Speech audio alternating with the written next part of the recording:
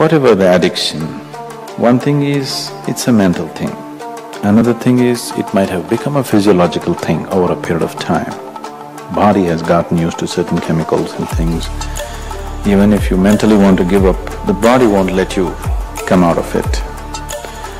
So, for those things, we have very powerful, uh, you know, kriyas and karmas.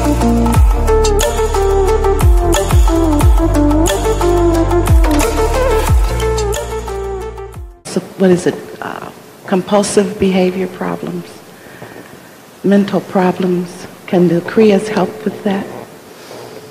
It's a very small way we are working with people like that, but uh, if we have to handle large groups of people like that, we need a certain facility and a certain support system.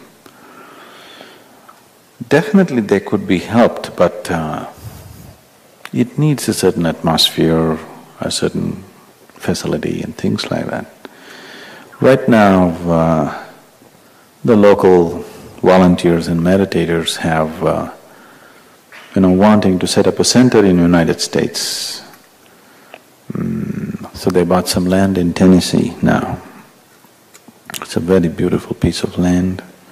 We have three waterfalls inside the land and it's very good.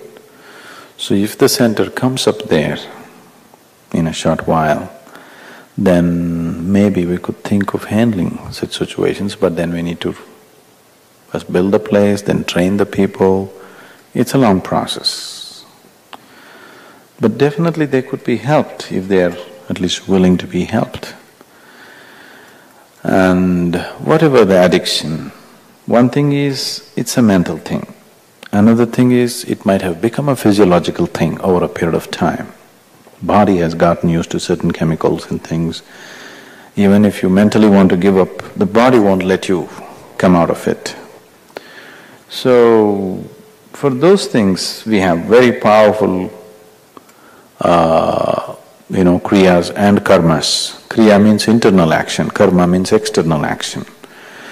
Both kriyas and karmas, a combination of this can be used to completely detoxify the body so that the physical urge can be taken off.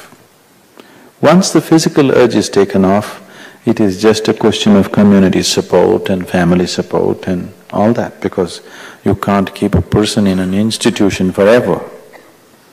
So, what kind of community and family support is there, which I feel is very poor in this country. The outside support is very poor. If you go on the street, everything is pulling you in that direction. For a person who's already been in it, if he walks on the street, there are so many things which are dragging him in that direction, isn't it? So there is no community support. Uh, there are uh, a couple of people who have come from here, stayed in India for sufficiently long periods and they've completely come out of it and uh, the thing is they don't want to come back here because they feel if they come back here, they go back to their old friends and whatever, they're invariably going to get into it.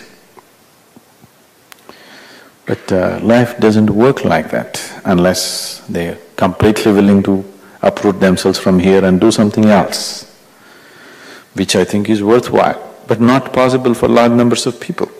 It's only possible for individuals.